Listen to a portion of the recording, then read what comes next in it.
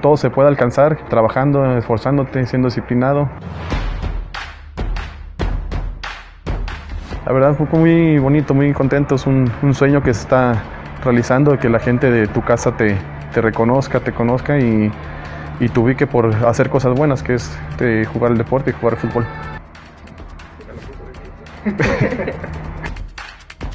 la adrenalina que siente antes de salir a, a, la, a, la, cancha, estando en vestidores, y a la hora que ya que pita el árbitro se te olvida todo y, ya te enfocas directamente a lo, a lo que es el partido.